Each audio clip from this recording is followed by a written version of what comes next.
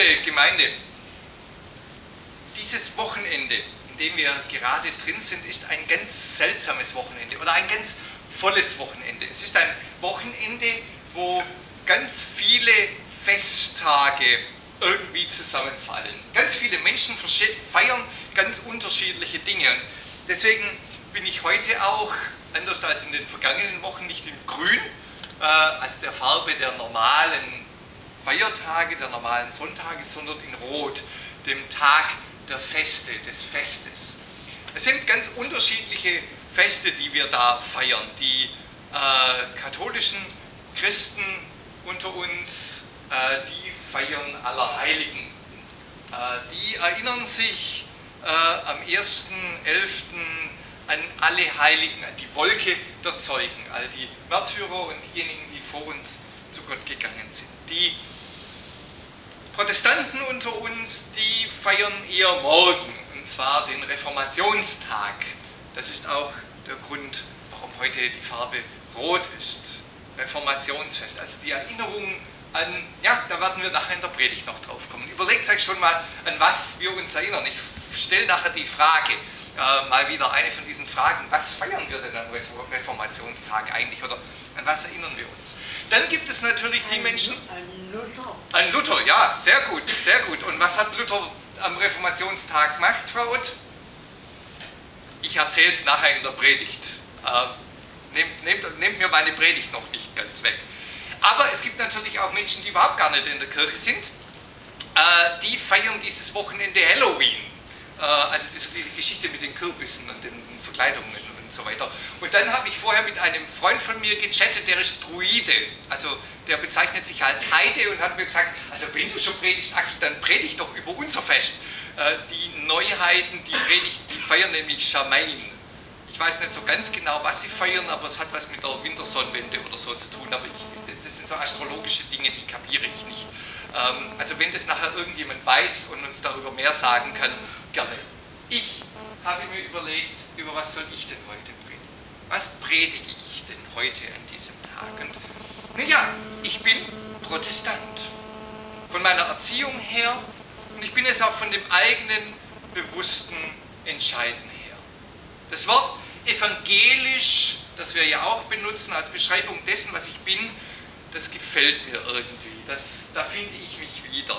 Ich sehe mich in der Tradition der Reformatoren, Luther ganz besonders und Melanchthon, aber natürlich auch Calvin und Zwingli oder ganz besonders als Württemberger natürlich der kleineren Reformatoren wie Johannes Brenz etwa. Johannes Brenz war Prediger in Schwäbisch Halland, äh, hat für diese Gegend, in der wir leben, ganz viel Reformation gemacht. Also ein Mann, der zusammen mit Luther den Katechismus geschrieben hat, also jene Lernhilfe zum Glauben, den die Konformanten in der evangelischen Kirche bis heute in Teilen auswendig lernen. Ich habe ihn selber gelernt vor vielen, vielen Jahren. Äh, ich habe es vorher mal probiert, ob ich es noch zusammenkriege, was ich gelernt habe, aber musste feststellen, dass außer dem Anfang ich es nicht mehr kann. Ich kenne trotzdem die Geschichte der Reformation und weiß, an was wir denken. Nämlich, jetzt kommt die große Frage, an was denkt die Kirche am Reformationstag? An den Thesenanschlag der 95 Thesen an der Schlosskirche am 31.10.1517. Prüfungsfrage. Immer gut, wenn man das weiß. Die römisch-katholischen Aussage zur Kirche und Kirchen verfolge ich aufmerksam. Ich denke darüber nach, wie sich die evangelische, die katholische, die anderen Kirchen verändern und was uns in unserer Zeit umtreibt. Das ist ein Teil dessen, was ich tue und was ich bin. Es sollte also überhaupt gar kein Problem sein, an einem Tag wie heute oder an diesem Wochenende eine Predigt zu schreiben. Zwar so lange kein Problem, eine Predigt zu schreiben, bis ich mir angefangen habe, was soll eigentlich die Leitfrage für mich sein in dieser Predigt? Also, welche Frage stelle ich denn an diesem Wochenende? Meine erste Idee war, warum ich evangelisch bin. Aber da begann dann sofort ein Problem. Also nicht, dass ich nicht evangelisch wäre, aber müsste es denn nicht eigentlich, korrekter für den Theologen richtig heißen, warum ich protestantisch bin? Oder noch besser, äh, warum ich nicht römisch-katholisch bin? Oder äh, für meine Situation als Pfarrer in einer freien Gemeinde, die nicht zur Landeskirche gehört, warum ich in dieser bestimmten ja, evangelischen, protestantischen, Fragezeichen, nicht katholischen, ja irgendwie anderen Gemeinde bin und nicht in irgendeiner anderen.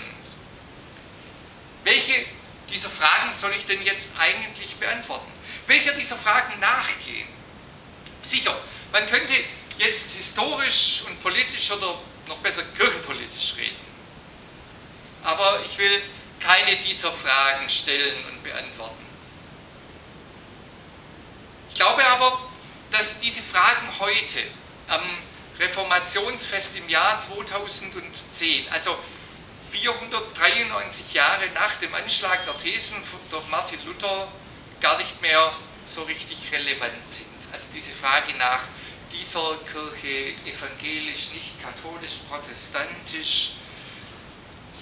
Die meisten Menschen in unserer Welt würden mit diesen Fragen nämlich überhaupt gar nichts anfangen können. Also stellen wir uns doch mal vor, wir wären so ein Radioteam, das auf der Königstraße eine Umfrage machen müsste, äh, wie Sie das gerne im Fernsehen oder im Radio machen, in irgendeiner Stadt in Deutschland. Ne? Bei wie vielen Menschen hätten wir denn tatsächlich nach dem Grund des Reformationsfestes fragen können und dann tatsächlich gehört, 31.10.1517 Thesenanschlag Martin Luthers in der, Schloss, in der Schlosskirche. Ganz ehrlich, ich hätte das Jahresdatum auch nicht mehr gewusst. Also es ist peinlich für den Theologen, aber ich hätte es nicht mehr auswendig gewusst. Solche Sachen muss ich nachschauen. Ich bin mir sicher, auch in protestantischen Kerngemeinden wäre es nicht viel besser gegangen mit der Antwort als in katholischen Gegenden. Die Frage, die sich die Menschen doch heute viel mehr stellen, ist doch eine andere. Die Frage, die sich Menschen heute eigentlich stellen oder die ich mir eigentlich stellen muss, ist, warum ich in der Kirche bin. Warum um alles in der Welt bin ich eigentlich noch in der Kirche? Und es geht mir jetzt gar nicht darum, warum ich in der einen Kirchenorganisation bin und nicht in der anderen. Es geht mir auch nicht um den Unterschied zwischen evangelisch und katholisch und freikirchlich oder sonst wie, sondern Heute, 2010, geht es doch mehr und mehr darum, warum Menschen eigentlich überhaupt noch in die Kirche gehen und nicht vielmehr eben nicht in einer Kirche sind. So viele Menschen sind ja nicht mehr in irgendeiner Kirche und interessieren sich dafür weder für das Gründungsfest der Protestantischen noch für das Allerheiligenfest der anderen. Halloween, das ist was, was die Leute interessiert. Da gibt es Partys dafür. Da kann man hingehen heute Abend oder morgen Abend oder Sonntagabend oder wann auch immer. Aber warum bin ich eigentlich noch in der Kirche?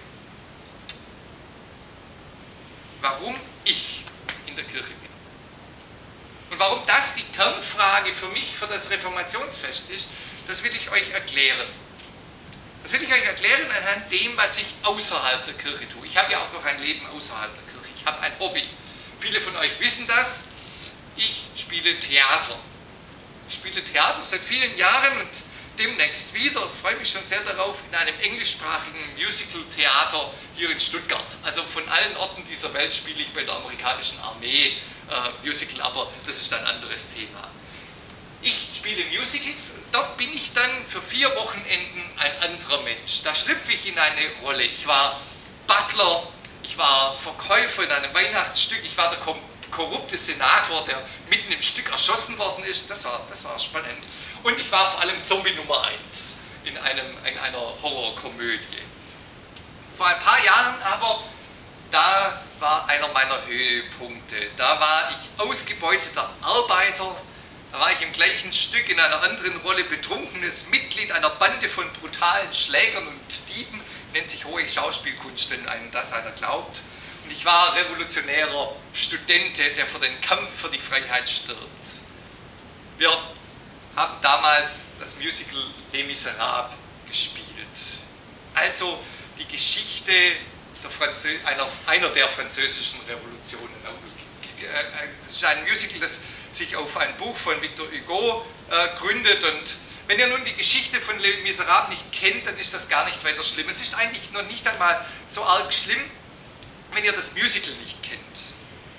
Aber die Geschichte des Musicals, die hat nämlich eigentlich mit der Predigt zum Reformationsfest eigentlich herzlich wenig zu tun. Ich will euch trotzdem paar Sachen daraus erzählen, weil der Anfang, der ist nun natürlich durchaus wichtig. Am Anfang dieses Stückes über eine Revolution in Frankreich, da spielte ich nämlich einen heiligen Bischof. Den heiligen Bischof von Digne.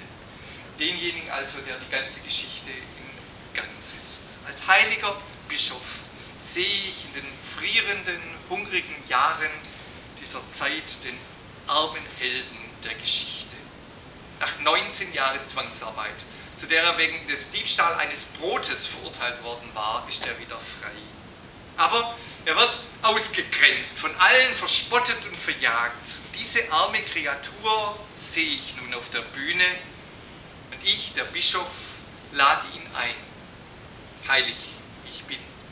In mein Haus, an meinen Tisch, biete ihm Brot und Wein. Ich biete ihm ein Bett für die Nacht. Einfach sei unser Leben hier im Bischofspalast, sage ich. Aber was wir hätten, das hätten wir dafür, um es mit anderen zu teilen. Was du dem geringsten unter meinen Brüdern getan hast, das hast du mir getan, spricht Jesus Christus. Das einfache Leben des Bischofs bedeutet aber Silberbesteck auf dem Tisch, mehr wert als alles, was der Held in 19 Jahren hätte verdienen können. Und so stiehlt er es seinem vertrauensseligen Gastgeber und flieht hinaus in die, Stadt, äh, in die Nacht. Dort kommt er nicht weit. Die Wachen fassen ihn, zerren ihn vor den Bischof. So, so, so, mhm. Geschenkt hätte der gute Bischof ihm das Silber also. Na, dann wolle man mal hören, was der heilige Mann dazu sagt. Ja, das stimmt, sage ich, der Bischof. Und noch viel mehr.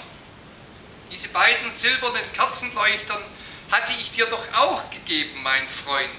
Ich nehme sie vom Tisch und reiche sie ihm. Hast du sie hier vergessen? Hier, nimm auch sie. Und dann schicke ich die Wachen weg, die sich schon auf die gerechte Strafe gefreut haben und knie nieder neben den armen, geschundenen Helden und singe und sage, And remember this, my brother, seeing this some higher plan, you must use this precious silver to become an honest man. By the witness of the martyrs, by the passion and the blood,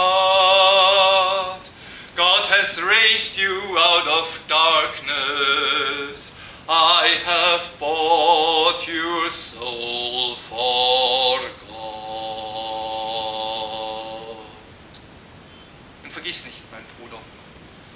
hierin den Plan Gottes. Du musst dieses Silber benutzen, um ein guter Mensch zu werden. Im Angesicht der Heiligen, des Leidens und des Blutes Christi, der Gnade Gottes hat dich Gott aus der Dunkelheit gehoben. Mit diesem Silber habe ich deine Seele für Gott gekauft. Das restliche Musical Les Miserables erzählt davon, wie der Held in einer dunklen Welt versucht, ein guter Mensch zu sein. Der heilige Bischof taucht nicht wieder auf in dem Stück, aber seine Musik, diese Melodie hört man wieder und wieder, wenn der Held Entscheidungen treffen muss. Diese Szene ist vielleicht die schönste Szene christlicher Nächstenliebe, Vergebens und Verhaltens, die je in einem Musical geschrieben worden sind. Und es ist für mich wirklich Urlaub, diese Rollen zu singen. Sicher, der betrunkene Schläger, den spielen zu dürfen, das macht Spaß, betrunken zu sein. Den vor revolutionären, feuerbrennenden Studenten zu spielen, der kämpfen stirbt, das ist ein tolles Erlebnis. Aber der heilige Bischof zu sein, das ist etwas Schönes, etwas Erhabenes. Hört, was der Bischof tut, was er sagt. Seht, was geschieht im Leben eines Menschen, der die Liebe Gottes durch einen anderen Menschen erfährt. Nehmt euch ein Beispiel an mir, dem heiligen Bischof aus dem Musical. Liebe Gemeinde, genau da, genau an diesem Punkt kommt jetzt die Kirche ins Spiel. Denn genau hier ist, was die Bühne von der Kanzel unterscheidet. Hier ist, was den Unterschied zwischen macht, macht zwischen der Kirche und der Bühne, zwischen Theater und Gottesdienst, zwischen Musicalspielen und Leben. Denn im Theater, im Theater, da spiele ich nur.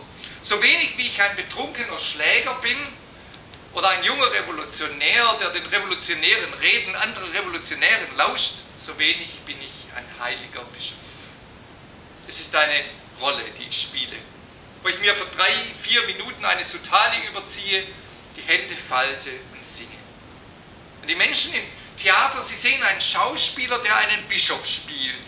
Und wenn sie das Programm hineinschauen und das aufmerksam lesen, dann amüsieren sie sich vielleicht darüber, dass dieser Schauspieler dort oben in seinem wahren Leben Pfarrer ist. Aber was zählt, das ist die Aufführung, nicht das wahre Leben. Zählt, tut, zählen tut nur das, was da vorne auf dieser Bühne passiert.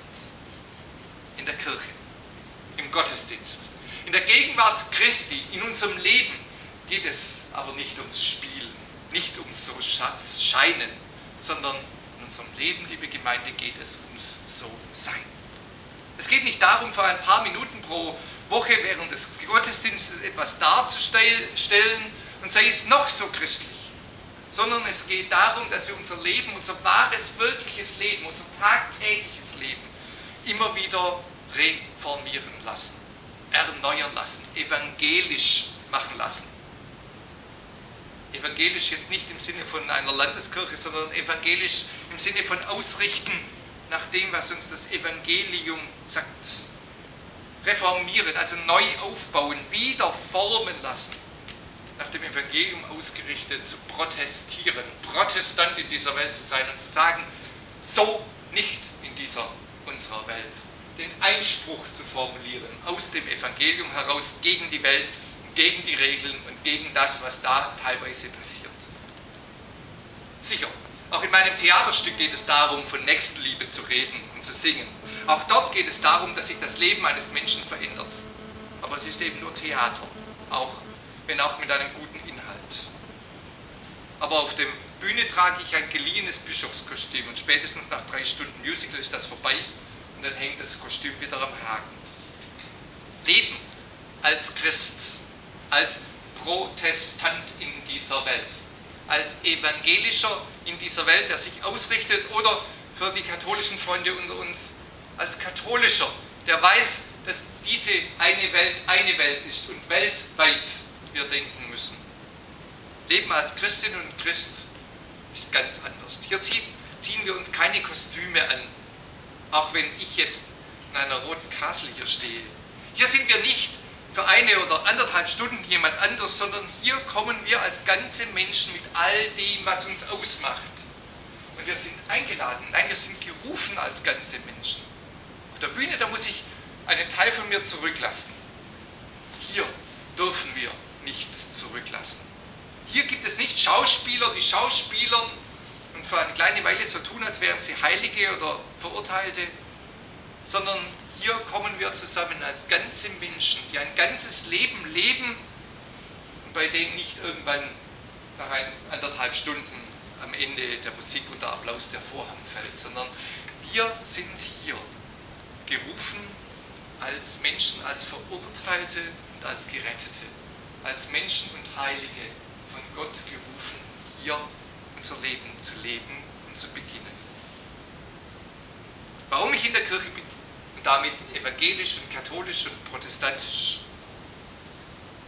Weil es hier keine Zuschauer gibt, die zuschauen. Kein Drama, das hier vorne abläuft und dem man dann mehr oder weniger beteiligt oder unbeteiligt zusehen kann. Wer hier vorne Show von mir erwartet und dann meint, damit hat sich's, der ist hier am falschen Ort, liebe Gemeinde. Ihr wisst es alle, ihr kennt mich gut genug, ich bin gerne hier vorne. Aber wenn es sich hierauf beschränkt, dann ist es zu wenig. Hier gibt es keine Bühne und einen Zuschauerraum, sondern wir sind alle miteinander in der Bühne und im Zuschauerraum unseres Lebens. Hier in der Kirche, in der Gemeinde, im Leben, in Christus geht es um, ums Ganze, da geht es ums Mitmachen, da geht es ums Dabeisein. Hier geht es darum, dass wir im Gottesdienst in der Gemeinde dabei sind unseren Teil beitragen und einbringen. Ja, das bedeutet vorher aufbauen, nachher abräumen. Das bedeutet, sich da hinzusetzen und ein Gespräch zu führen. Das bedeutet aber auch, sich selber mitzubringen und zu sagen, ich brauche dieses Gespräch. Gemeinde heißt mitmachen und nicht erwarten, dass der Pfarrer oder der Gemeindevorstand irgendetwas weiß. Mir wurde kürzlich gesagt, du, mir ging es in letzter Zeit so schlecht. Ja, woher soll ich es denn wissen? Habe ich eine Glaskugel, in die ich reingucken kann? Nur im Miteinander auf dem Weg sein kann aus dieser Gruppe von Menschen Gemeinde werden. Es geht vor allem darum, dass wir dabei sind in unserem ganzen Leben und mit unserem ganzen Leben. Und Leben in Christus bedeutet dann eben nicht, dass man am Sonntagmorgen irgendwo hingeht oder am Samstagabend bei irgendeiner Aufführung dabei ist, sich unterhalten, aufbauen und trösten lässt, vielleicht auch sich heilen lässt. Sondern Leben in Christus bedeutet, dass unser tägliches Leben sich verändert.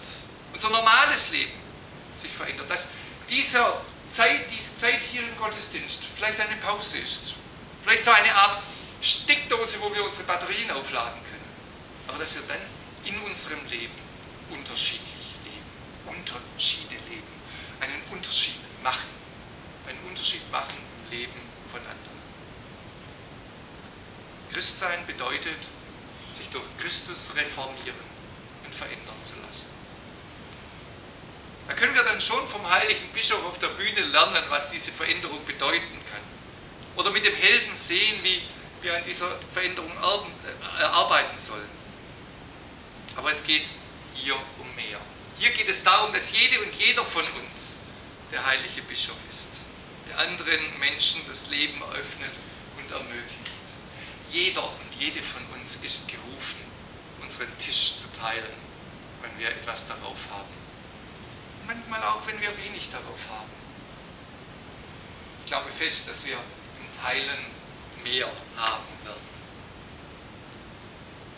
Hier geht es darum, dass jede und jeder von uns dieser Held oder diese Heldin ist, der Ungerechtigkeit widerfahren ist und die sich dann trotzdem aufmacht, diese Ungerechtigkeit nicht einfach weiterzugeben, sondern einen Versuch eines neuen Lebens zu wagen.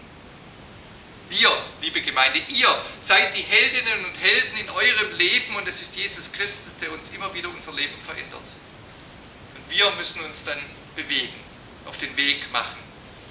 Was im Theater auf der Bühne beginnt, das endet im Theater auch auf der Bühne. Im Theater ziehe ich am Ende das Bischofskostüm aus und bin einfach wieder nur Axel, allen Stärken und Schwächen. Im Gottesdienst, im Leben in Christus brauche ich meine Stärken und Schwächen nicht hinter einem Kostüm zu verstecken. Brauche nicht zu tun, als wäre ich ein anderer, sondern ich darf dann auch meine Stärken einbringen und meine Schwächen heilen lassen verändern lassen. Und ich darf verändert weitergehen. In der Kirche bin ich ganz da, ohne Kostüm. Hier zählt das Leben, nicht eine Aufführung, nicht eine Rolle. Reformationsfest, das Fest aller Heiligen, aller derer, die mit Gott auf dem Weg sind, also auch euer Fest. Reformationsfest 2010, darum geht es. Nicht um das Leben in verschiedenen Kirchen oder in verschiedenen Traditionen, sondern es geht um das Leben mit Christus, der uns immer wieder neu aufbaut und uns immer wieder neu ausrichtet.